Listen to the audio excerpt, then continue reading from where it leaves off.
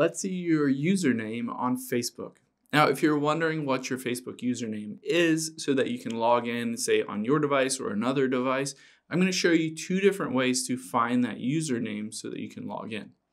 So let's hop into your settings here and we'll scroll down until we get to passwords. Tap on that.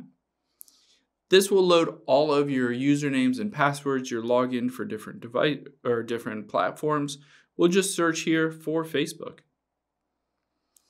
And once we do that, we can tap on one of these and you can see this is my How To Apps account and my username it shows me right there is trevor at howtoapps.com.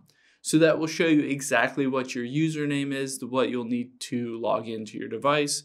Or keep in mind that a lot of times if you have your phone number linked to Facebook, you can use your phone number as well to log in. Now, if you don't necessarily use this, but you use Google Chrome, you can check on there as well. So let's hop into Chrome and tap the three dots at the bottom right, and then tap Password Manager. On here, you can see if you use Chrome, a bunch of different passwords and usernames, including your Facebook username. So just search at the top for Facebook and it'll populate with your login information for Facebook, your username and password, so that you can use your username however you want.